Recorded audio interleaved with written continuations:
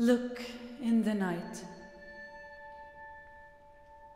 Accidentally look in the night.